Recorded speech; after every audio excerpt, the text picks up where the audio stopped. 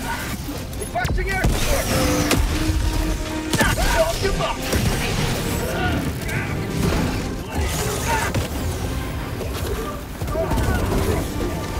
Queen Liberty, my